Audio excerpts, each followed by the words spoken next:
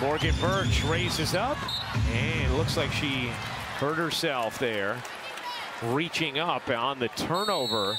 And Bertsch favoring that right leg.